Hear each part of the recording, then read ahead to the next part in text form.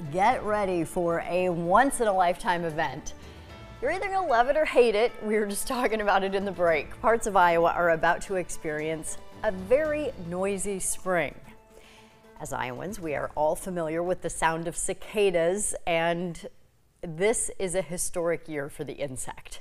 Yeah, WHO 13's Amanda Krenz joins us now. She has a special guest to tell us all about what's about to happen once the temperatures get a little warmer. Yes, hi everybody. So joining me now, this is Zach Schumm. He is with Iowa State University's Plant and Insect Diagnostic Clinic. And I have to say, this has sort of been the buzz around the newsroom today because a lot of people have seen these articles about cicadas also known as locusts for same same insect-ish. It, it, works. It works, okay? for, for the sake of our interview, it works. Um, but I was so intrigued by the article that I read because this really is a historic natural phenomenon that's about to happen.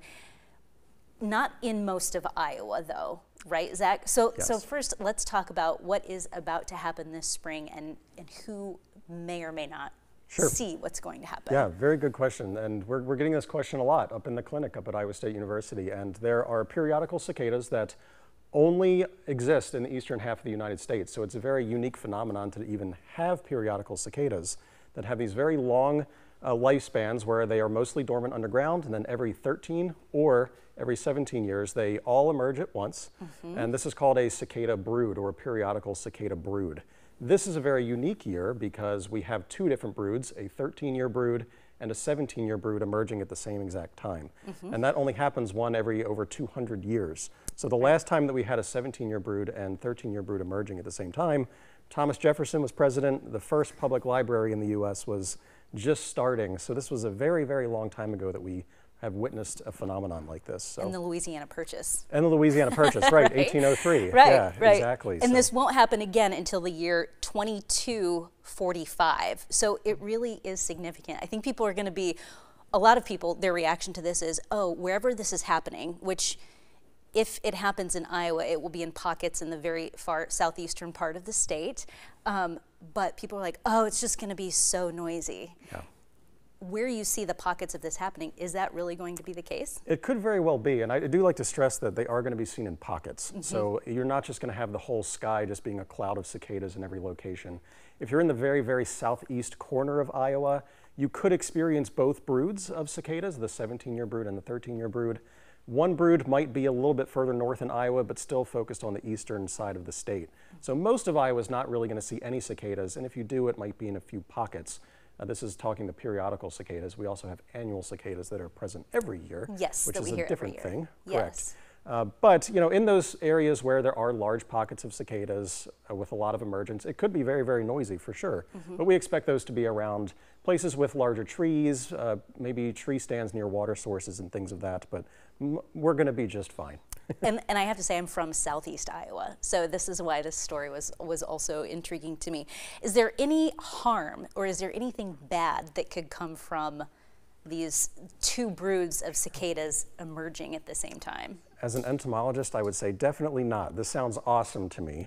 uh, but cicadas are harmless to people. Uh, they do not bite, and I say they do not bite. They have a piercing and sucking mouthpart that they use to feed on plants. They could technically stab you, but they don't do it. I pick them up all the time without issue.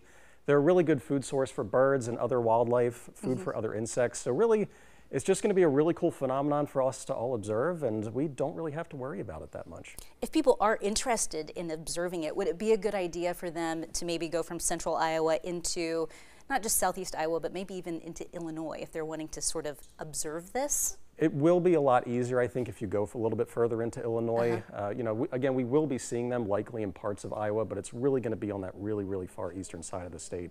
And the southeastern corner is where we might be able to see both broods of cicadas. Uh, but if you go to those other areas that are more centrally located in the range of that brood, you're more likely to see a lot more activity in those areas for sure. Are they going to feast on anybody's gardens or any, any ruin any plants or anything like that? They're not going to ruin any plants unless your plants uh, are already damaged or diseased from some other issue. Okay. Uh, so, and in Iowa, we've been dealing with some really bad droughts for the past several years. So if you have trees that are already really drought stressed, the cicadas may exacerbate some of those issues a little bit, but it's very, very unlikely for cicadas to actually cause plant or tree death. And it's important to remember as well that the nymphs of these cicadas have been feeding on tree roots for the past 13 or 17 years. Yes, so they've been underneath you. They've been underneath our feet this whole time. We just are now seeing them when they're out in our landscape above Mm-hmm. ground. So, Which is the end of their life, actually. yeah, so it's the last few weeks of their lives, and then the nymphs will be feeding for the next 13 or 17 years, and we'll experience this again. Well, we'll experience the individual broods in 13 or 17 years, but we'll all be long gone before this happens at the same time again. So, Oh, see, I just think it's so interesting. Right. Zach, thank you so much for being here. Appreciate it. thanks for having me. And with all this knowledge, you can head into your weekend being that much more knowledgeable about cicadas, you guys. We'll send it back to you.